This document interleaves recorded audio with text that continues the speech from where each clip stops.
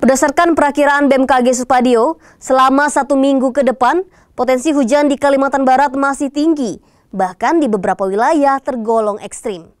Karena itu, masyarakat yang bermukim di wilayah rawan genangan air dan berpotensi tanah longsor diminta selalu waspada. Curah hujan di wilayah Pontianak diprediksi masih cukup tinggi dan ada beberapa wilayah berpotensi hujan ekstrim, terutama di wilayah Kalbar bagian utara dan bagian selatan, seperti Kabupaten Kuburaya, Kayung Utara, dan Ketapang.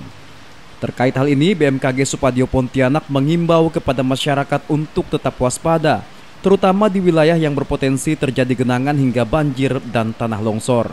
Diprediksikan wilayah Kalimantan Barat masih cukup tinggi potensi curah hujannya.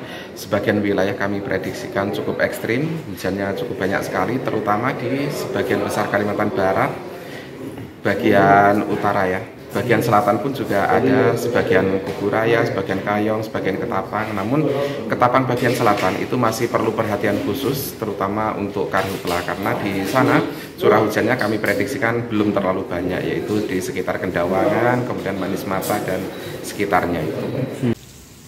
Sutikno juga mengimbau kepada seluruh masyarakat untuk selalu waspada terhadap dampak potensi hujan tinggi hingga ekstrim di wilayah Kalbar. Doris Pardede, Kompas TV, Pontianak, Kalimantan Barat.